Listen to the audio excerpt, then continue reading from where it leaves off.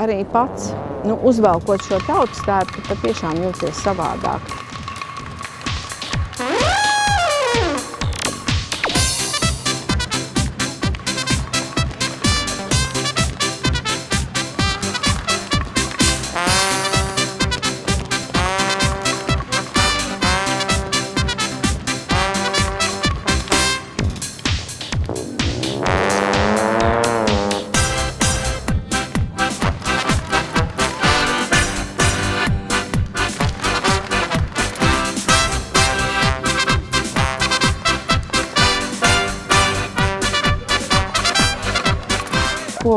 Kopš Latvijas laika neesmu nezinu viena nekad strādājusi. Es vienmēr esmu nodarbojusies tikai ar savu biznesu.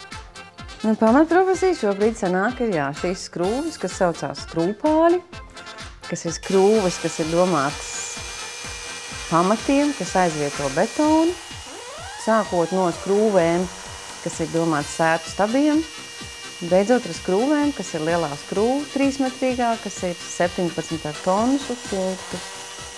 Tātad līdz 3 stāvu, 4 stāvu koku māju celtniecībai. Citreiz mēs kaut ko pakašķējamies, vai atkal varbūt tur tā dejošana kaut kas, bet patiesībā tas viss palīdz.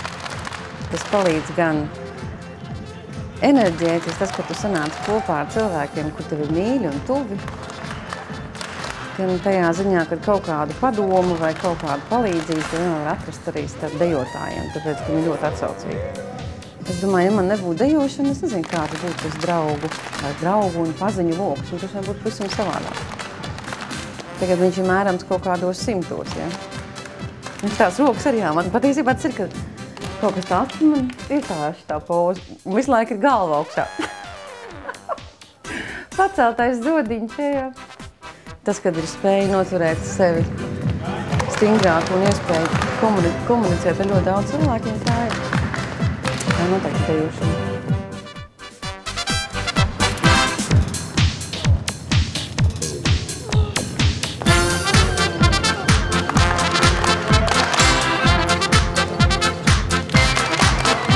Tas pats jau pirmais, jau, kas tā nāk prātā, laikam komandas tomēr. Nu, dejošana arī tā kā komanda, nu, kā kolektīvs īstenībā. Tāpat kā hokejā. Nu, tev arī ir, ir, ir nu, tu nevari nu, viens pats tā kā. Nu, labi, ir solo dejs, nu, ir arī kaut kādi nu, izgājiens viens pret vienu, ne, bet arī pat laikā tas ir komandas sports. Nu, tas nav vai arī, kom, nu, vai arī kolektīvu tā, te, teiksim, būt visiem kopā. Tā viens par vienu, viss par visiem.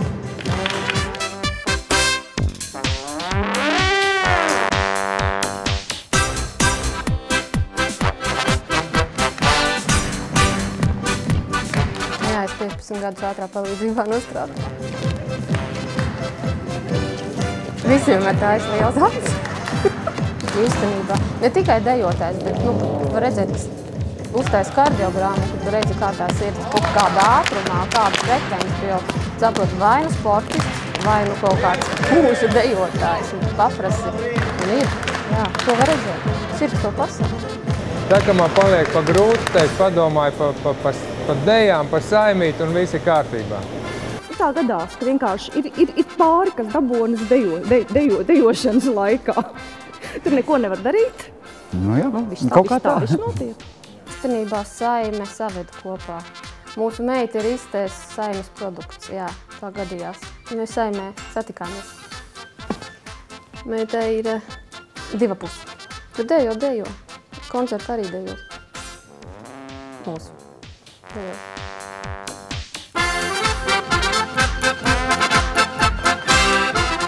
Fizikā ir tā, ka visstabilākās lietas ir trīs kāju beņķītes. Pareizi? Nu, lūk. Un arī katram cilvēkam ir vajadzīgs nu, tās trīs kājas, uz ko turēties. Ir darbs, ir ģimene, un tad ir jābūt ārpus tā visam vēl kaut kam. Un iespējams, ka dejošana, dejošana šai kompānijā, tas tā ir tā mūsu trešā ķeblīša kāja, kas palīdz to, to, to stabilitāti un to tās krāsas. Tas ir dombiedri, teiksim, kopums. Dejā ir visu Latviju tautu raksti. Mēs izdzīvojam ļoti daudz lietas, kas pat ir visās mūsu ieaustajās jostās. tā tik liekas, varbūt tur ir aplīts un tur aplīts pāriet uz mazāku aplīti, bet tas viss veidojās, tur pa vidu ir neskaitāmi ausiklīši, tur ir visādi interesanti, teiksim, kas noteikti enerģētiski palīdz ne tikai mums, kas arī attīra to visu, gan apkārtējo skatītāju cilvēku, kas uzlabo to omu, jo tas, tas jau nav tikai mūsu sejas un kājas, tas ir viss kopā noteikti.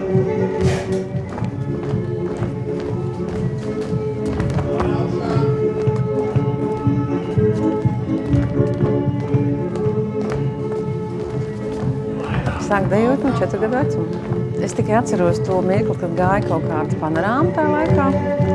Un televizoru, kas tas bija kaut kāds, tā kāda, malā bija tāds restīts, un viņi teica, ka viņi uzņēma dejotājus. Un es atceros to reizi, kad es pieskaitu kādu pie televizora, un es viņam čukstēju atpakaļ, un es teicu, es noteikti rītā atnākšu, atstājiet man vietu. Un tas sanāk labi, ka man mamma to sadzirdēja, ja? viņa man aizved. Es sāku celtniecības, tas bija kluks Lāpa, Ķengaragā. Man četriem gadiem, pēc tam bija Dzinteriņš, tur es nodzīvoju pusgadu, bet es teicu mammai, ka man nepatīk. Un tad viņa man teica, ir divas iespējas izvēlēties vēl tādiem labiem kolektīviem, kas ir uguntiņa vai pie liesmas ir dzirkstalība. Vienā ir vīrietis, vienā ir sieviete vadītāja. Es teicu, es laikam iešu pie tā vīrieša. Un tā es arī aizgāju, un tur patiesībā es nodzīvoju visu savu skolas laiku. Bija mans magūnis, sākot ar dzikstalīti, beidzot ar liesmu.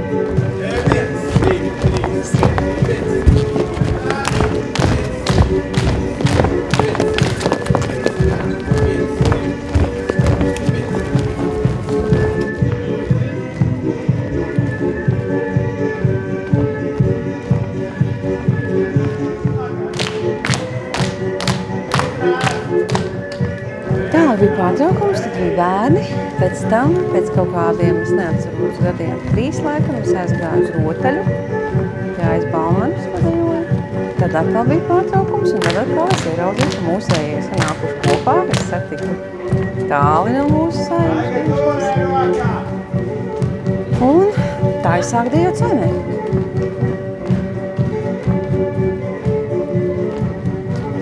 Arī ekonomiskie sakari. Kādreiz bija universitātē tāds, jā, tā kā it kā ekonomistis skaitos.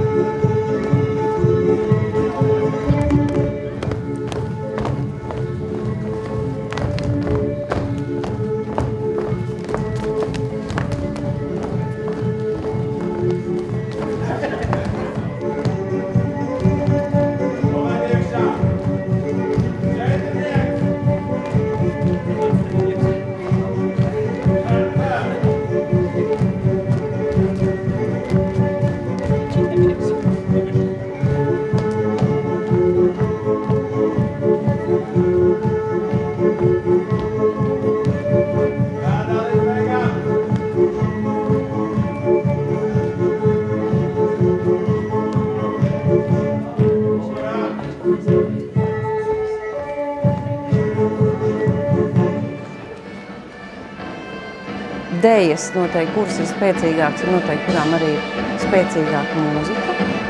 Ja, kad ir tā mūzika, kas nav tāda vienkārši pa virs, kā ir limbamam, ir limbamam. Ja, kad mūzika ir tāda diezgan nesoša, un tad tu izai ārā un atskan tiek pirmā akordi, un tas viss vienkārši liekas, ka pielīst ķermenis ar savādāku enerģiju. Un tu esi spējīgs nodejot no tādu, varētu pat teikt, tā kā pusmetru ir zemes.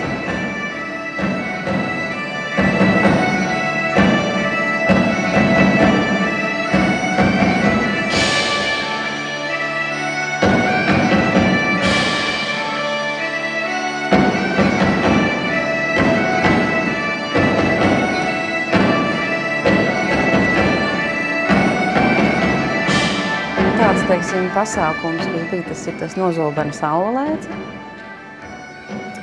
kas bija enerģētiski ļoti spēcīgs, kur mēs pieteicāmies kā kolektīvs. Tas bija kaut kāds tāds viens no, teiksim, ļoti labiem sajūtu līmeņu koncertiem.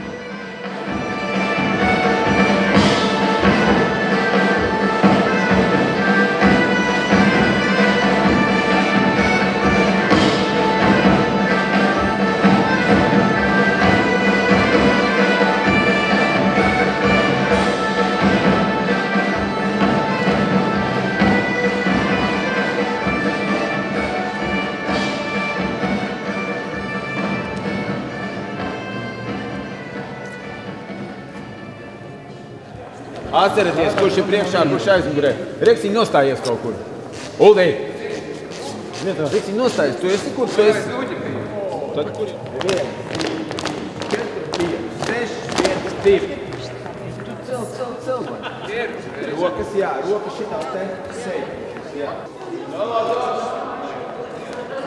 Esam diezgan daudz dejojuši vienā kolektīvā, un mēs tagad gadiem caurējot atkal esam kopā, kad mums nav kaut kādas tādas lietas, ko mēs zinām, kas vienam patīk vai nepatīk, mēs vienkārši viens otru jūtam.